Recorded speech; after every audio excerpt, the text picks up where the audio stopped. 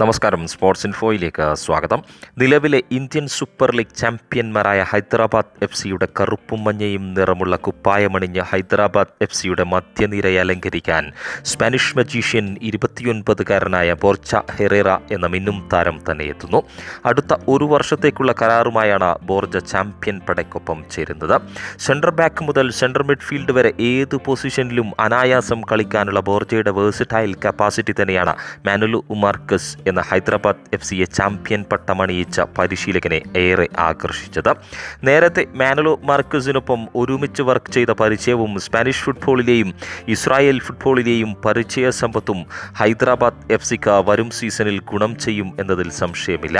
സ്പെയിനിലെ ലാസ് പാൽമാസിലൂടെ തന്റെ യൂത്ത് കരിയർ പച്ചപിടിപ്പിച്ച് യൂണിയൻ വിയറയ്ക്ക് വേണ്ടി സീനിയർ കരിയറിൽ അരങ്ങേറ്റം കുറിച്ച് ലാലിഗയിലും സെഗുണ്ട ഡിവിഷനിലും ഇസ്രായേലി ലീഗിലും ഉൾപ്പെടെ പന്ത് തട്ടിയ പരിചയ സമ്പത്തുമായി എത്തുന്ന ബോർച്ച സെഗുണ്ട ഡിവിഷനിലെ ആൻഡോറ ലാവെല്ല ഫുട്ബോൾ സംഘത്തിൽ നിന്നുമാണ് ഹൈദരാബാദ് എഫ് സിയിലേക്ക് എത്തുന്നത്.